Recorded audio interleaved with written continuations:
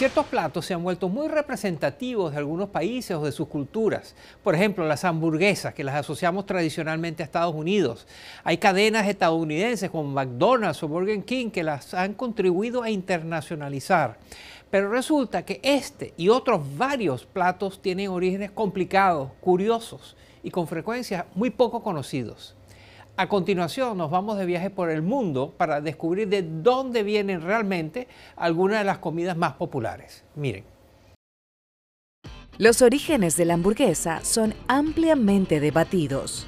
Algunos historiadores han descubierto que la idea de cocinar carne de ganado picada en forma de medallón se remonta a la antigüedad. Pero el verdadero precursor de la hamburguesa parece venir de Hamburgo, Alemania.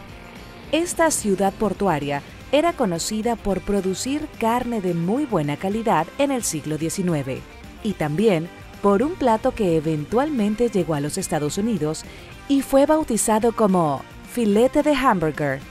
Para 1890, los estadounidenses comenzaron a comer este filete entre dos pedazos de pan, dando nacimiento al plato que hoy conocemos. El pozole es una sopa mexicana conocida como la cura de todas las penas. Aunque hay muchas versiones, los ingredientes base suelen incluir maíz, chile y carne de cerdo.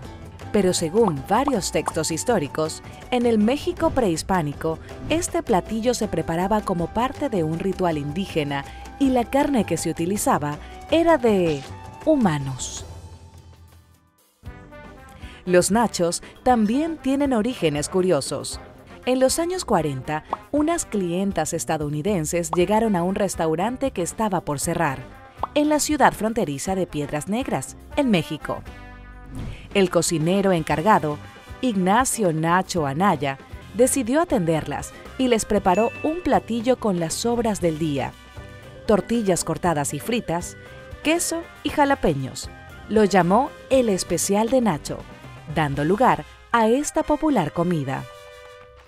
Los vegetales cubiertos en masa y fritos no faltan en ningún restaurante de comida japonesa, pero esta técnica, que hoy se conoce como tempura, tiene sus orígenes en el plato portugués pececitos del jardín, que consiste en freír judías cubiertas en masa. La receta llegó a Japón en el siglo XVI de la mano de un grupo de marineros portugueses y cambió la cocina del país asiático para siempre. Antes de partir, no olvides presionar el botón que dice suscribirme aquí abajo de este video. Así te mantienes al día con todo el contenido de Efecto Naim. Gracias.